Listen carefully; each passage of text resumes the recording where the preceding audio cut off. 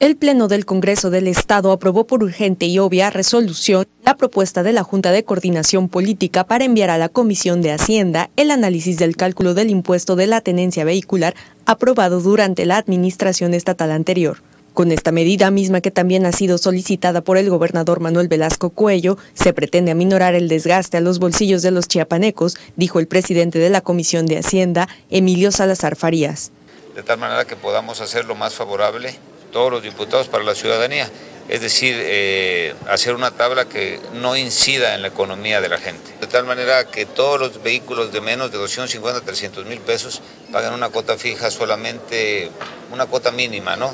Alrededor de un peso a unos 50 diario, que son de 300 a 550 pesos este, al año.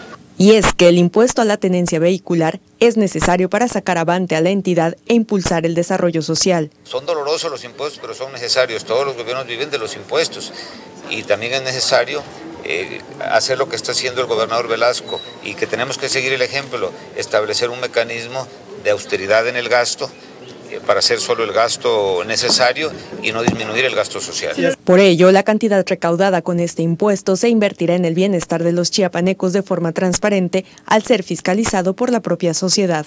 Lo que se está proponiendo también es que este recurso eh, sea supervisado y esto es una propuesta que ha hecho la propia Secretaría de Hacienda, por un Consejo Ciudadano que verifique que es un recurso que se, que se usa estrictamente para gasto Con información de Cecilia Mandujano, TV10 Noticias.